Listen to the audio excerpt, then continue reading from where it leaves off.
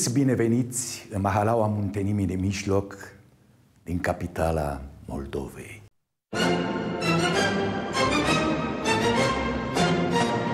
Iașul uh, are un potențial fantastic, nu atât doar din punct de vedere al trecutului, ci și al prezentului. Iașul este capitala neîncoronată culturală a țării. Seratele timpului, istoriile mărturisite sau întâlnirile așezate în tăcerea nocturnă a ulițelor. Toate se rescriu într-un prezent din care se privește spre locul ăsta Iași ca spre o capitală culturală europeană.